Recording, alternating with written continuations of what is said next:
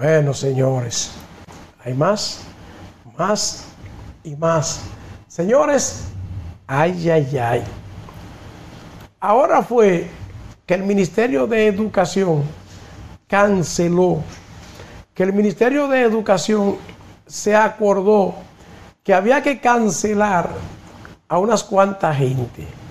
Entre estas, el presidente de la ADP allá en Higüey. ¿Y por qué lo cancelaron? Porque el presidente de ADP en Higüey falsificó el título para que lo nombraran como maestro. Y esto provocó que le cancelaran de educación.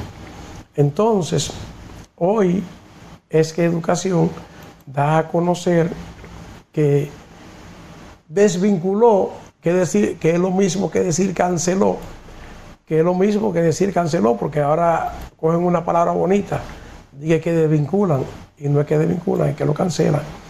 Educación canceló, canceló un técnico y otras tres personas que ejercían como docentes sin título o con título falso.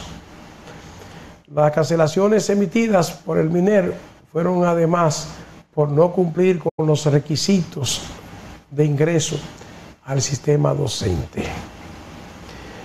El Ministerio de Educación de la República Dominicana informó que fueron desvinculados cuatro personas por desempeñar las funciones de docentes de manera irregular con títulos académicos falsos.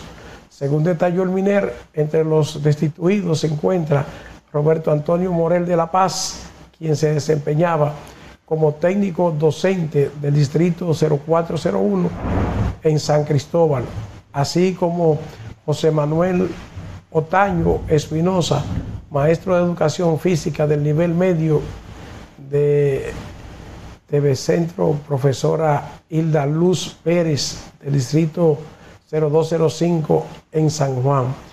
Así también Wendy María Félix Pimentel, quien fungía como orientadora del nivel básico en la escuela primaria Prácedes Félix del 0104 y estas cancelaciones se produjeron pues por instrucciones del Ministerio de Educación.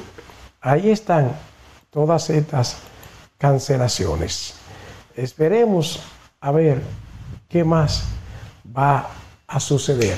Señores, con esta información de estas cancelaciones, pues finalizamos. Gracias. Muchas gracias por su siempre su bondad de estar con nosotros en este espacio. Como siempre, en los controles, Arnold Samuel, acompañado de Esdras. Nos vemos.